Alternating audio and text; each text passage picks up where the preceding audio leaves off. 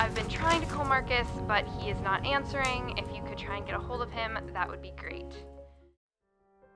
What's going on? Do you even want to move?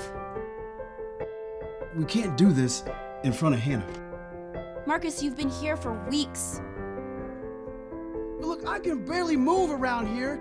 You act like it's no big deal. Everything has memory. Everything. Thought it was my fault.